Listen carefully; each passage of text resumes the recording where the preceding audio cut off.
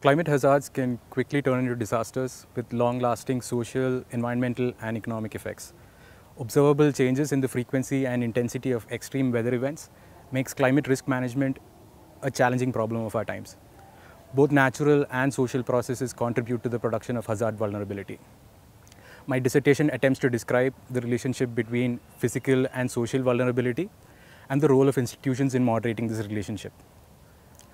I do this by addressing three broad limitations in existing assessments using the empirical case of urban flooding in southern India.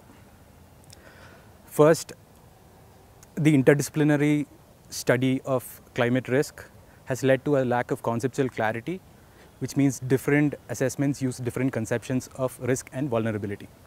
The first part of my dissertation forms an integrated conceptual framework of vulnerability and resilience that is useful for such assessments.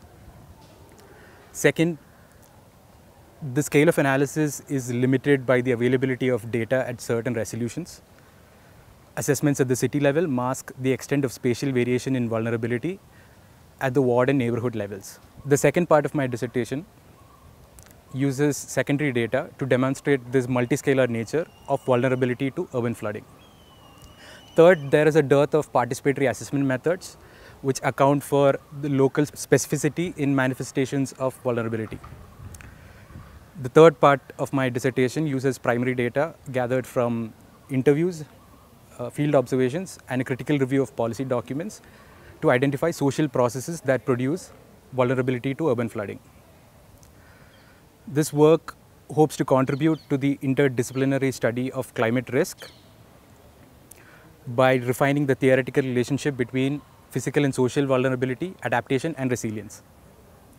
This work also demonstrates that a mixed methods vulnerability assessment approach using geospatial data and qualitative interviews can be deployed in countries with data limitations.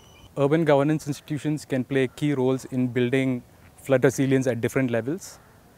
And this work hopefully informs existing policies and practices for effective management of climate risk.